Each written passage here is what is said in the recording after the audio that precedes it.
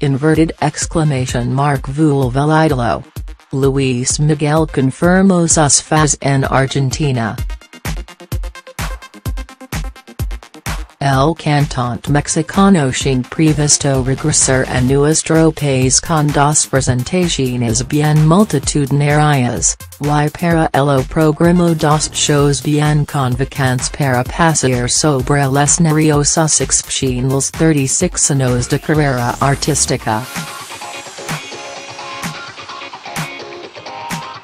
El 1 de marzo, Luis Miguel se está representando en el campo argentino de polo y el 26 de febrero en Orfeo Superdomo, las dos elegidas durante el año 2019 para recibir nuevamente en nuestro país al gran artista mexicano que durante el 2018 encandió a propios y extraños con la narración de su vida en la señal de Netflix, según cuenta el Diario Nacional El Cívico.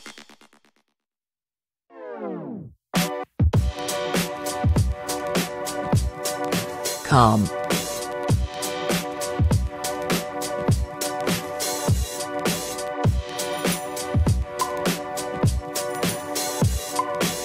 Lo largo de su carrera, lanzó 33 discos, vendió más de 100 millones en todo el mundo, ha certificado multiples discos de oro, platino y diamante.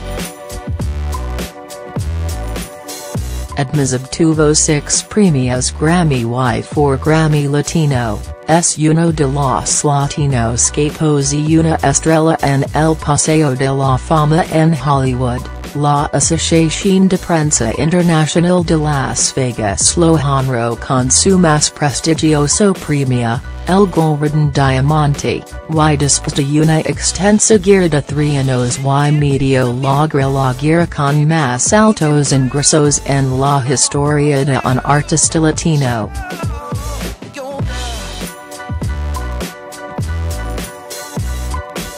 Mucha tractoria, pero sobre todo, gran carisma para el artista mexicano que tras la aparición de su serie en la cadena de streaming más importante del mundo, dobló la cantidad de fans alrededor del mundo, y muchos hombres han confesado estar atraídos con la historia personal del cantante, que mostró su lado más interno en la tira de su narración, protagonizada por el actor Diego Boneta.